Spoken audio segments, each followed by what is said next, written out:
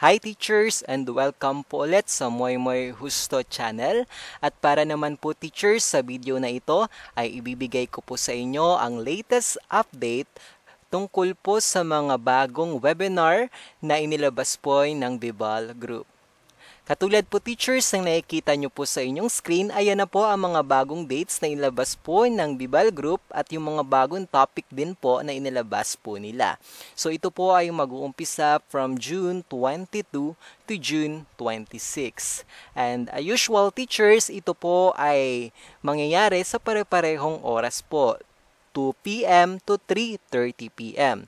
So, teachers, kung mapapansin nyo po teachers sa inyong screen, lahat po ng topic nila from June 22 to June 26 ay related po lahat teachers sa, sa mass media.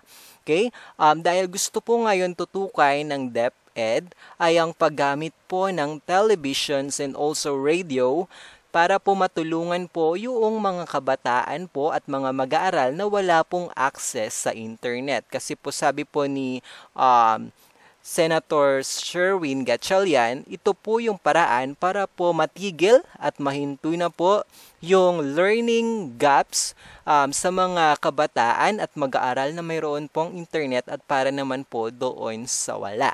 So napagandang topic po nito teachers sapagkat uh, may enhance po yung ating knowledge and also yung ating skills kung ano po ba yung ating mga dapat gawin kung sakali pong may papatupad na ito at mangyayari po mismo sa ating pagtuturo. Ito po yung tinatawag nila na um, ERB system of teachings or paggamit po teachers ng radio and television broadcasting sa pagtuturo.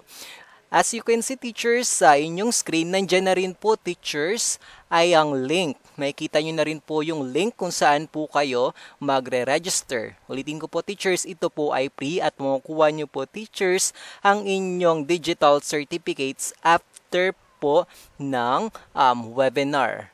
Okay, makukuha nyo po yung inyong certificates after po ng webinar dahil i-update pa po nila teachers yung kanilang system after po yan. Kaya kung makikita nyo po doon minsan sa inyong um, certificate generator, wala pa po yung mga certificate nila doon sa mga nakalipas na webinar kasi i-update pa po nila yon.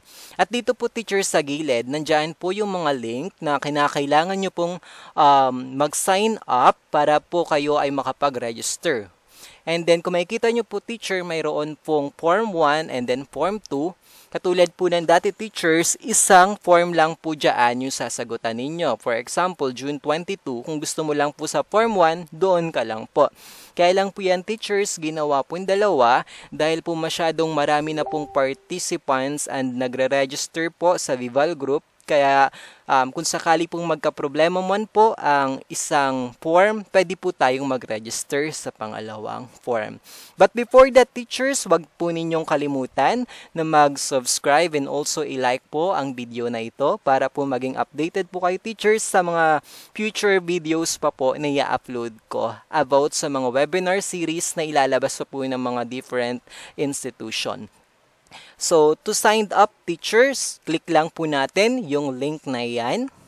And then right after that, teachers, uh, mapupunta na po tayo agad doon po sa mga Google Forms na kinakailangan po nating sagutan para po tayo ay officially na makapag-register. Okay? So, katulad po ng dati, ganun lang din po yung setup ng Beval group. So, if you have question, teachers, don't hesitate to ask questions. Just comment your questions and suggestions in the comment section po sa ibaba. And also, teachers, lahat din po ng link ay ilalagay ko na lang din po, teachers, sa description box para po hindi na po kayo mahirapan pa na mag-search sa Beval group. And also, teachers, um, i-like nyo na rin po yung page po ng Bibal Group. Ito po para po maging updated pa rin po kayo sa mga future uploads and updates nila regarding po sa um, educational systems and DepEd announcement. Ayun lang po teachers and don't forget to like and subscribe po sa channel na ito. God bless po at mag-ingat po tayong lahat.